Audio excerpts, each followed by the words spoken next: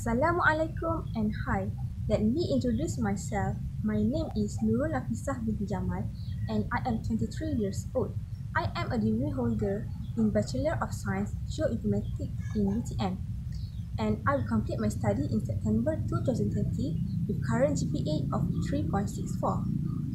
I am looking for the position of information technology sector within my company where I can contribute my knowledge and skills in geographical information system. Even though my mother tongue is in Malay, I can speak and write in English well.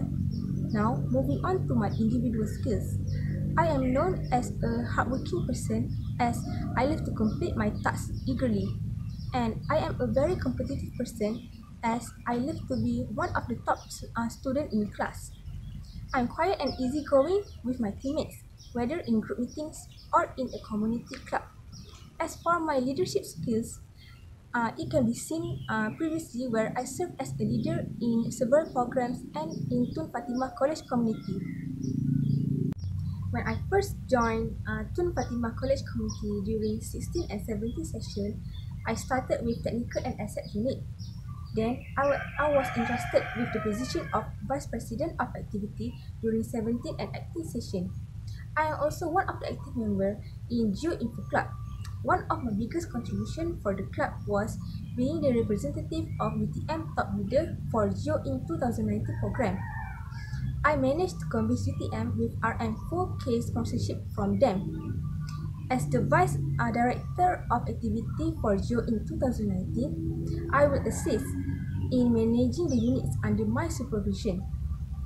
During my study and internship program, I gained so much knowledge in professional skills within my study area. I was able to perform basic and advanced uh, analysis using ArcGIS, address imaging, and QGIS software.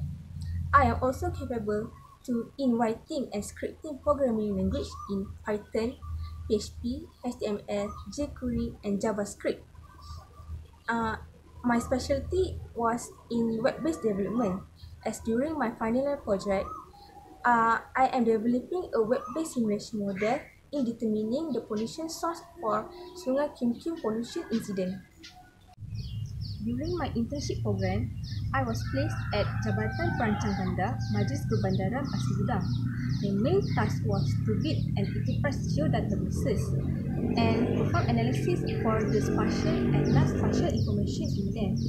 I also need to digitize the spatial information from aerial photograph to be updated in the I-10 Malaysia database. That's all from me. If you have any information regarding this interview, do reach me via Google email at nafisajamal at gmail.com or do contact me at numbers 011 124 06881. That's all from me. Thank you and have a nice day.